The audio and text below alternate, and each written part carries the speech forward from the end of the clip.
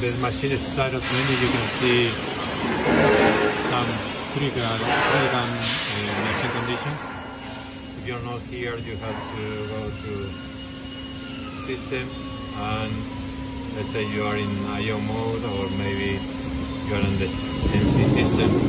Press system again and go through machine startup and there you go. For, for example, here we see that the front door is closed and once the that the door is open, it's gonna change to zero. The SQ73 and SQ38. This is the number or name or label where it is the uh, on the electrical drawing or diagram. Okay.